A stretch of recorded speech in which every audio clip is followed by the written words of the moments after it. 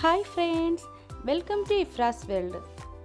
ഇന്ന് നമുക്ക് അറബിക് റൈസിന്റെയൊക്കെ കൂടെ കഴിക്കാൻ പറ്റുന്ന നല്ലൊരു ചട്നി എങ്ങനെ ഉണ്ടാക്കണേ നോക്കാം. അപ്പോൾ അതിന് മുമ്പായി ആദ്യമായിട്ടാണ് എന്റെ ചാനൽ കാണുന്നെങ്കിൽ ഒന്ന് സബ്സ്ക്രൈബ് ചെയ്യണേ പ്ലീസ് അപ്പോൾ നമുക്ക് ഇൻഗ്രീഡിയൻസ് എന്തൊക്കെയാണെന്ന് നോക്കാം. അപ്പോൾ രണ്ട് ടൊമാറ്റോയുടെ അളവിനുള്ളതാണ് പറയുന്നത്. വളരെ ഈസി ആയിട്ടുള്ളൊരു ചട്നിയാണിത്. അപ്പോൾ നമുക്ക് അതിന് വേണ്ട എന്തൊക്കെയാണെന്ന് നോക്കാം.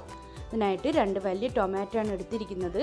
ഒരു ചെറിയൊരു കഷ്ണം സവോള മല്ലിയില ചെറിയ രണ്ട് വെളുത്തുള്ളിയുടെ അല്ലിയാണ് എടുത്തിരിക്കുന്നത്. പിന്നെ ഒരു പച്ചമുളക്. എരിവ് കൂടുതൽ വേണമെങ്കിൽ അര പച്ചമുളക് കൂടി ഇട്ട് കൊടുക്കാവുന്നതാണ്. പിന്നെ ഒരു ഫ്ലേവറിന് വേണ്ടി ജീരകം ഒരല്പം ഉപ്പ്. ഇനി നമുക്കിതെല്ലാം കൂടെ മിക്സിയുടെ ജാറിലോട്ടിട്ട് അരച്ചെടുക്കാം. ചെറിയ പീസാക്കി കട്ട് ചെയ്ത് പെട്ടെന്ന് ക്രഷായി കിട്ടാൻ വേണ്ടിയാണ്. ഒരുപാട് പേസ്റ്റായി പോകരുത്. ചെറിയ രീതിയിലൊന്ന് ക്രഷ് ചെയ്ത് മാത്രമേ എടുക്കാവുള്ളൂ. ഒരുപാട് അരിഞ്ഞു പോകാതെ ശ്രദ്ധിച്ചോളണം. സവാളയൊക്കെ വളരെ കുഞ്ഞു പീസാണ് എടുത്തിരിക്കുന്നത്. ഇനി ഇതിന്റെ കൂടെ നമുക്ക് ജീരകവും ഉപ്പും കൂടി ഇട്ട് അരച്ചെടുക്കാം.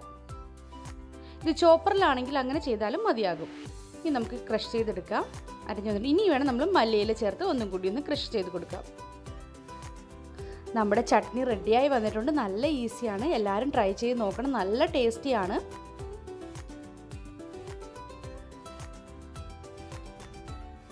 നിങ്ങൾക്കിഷ്ടമായെങ്കിൽ എന്റെ ചാനൽ ഉറപ്പായി സബ്സ്ക്രൈബ് ചെയ്യണം.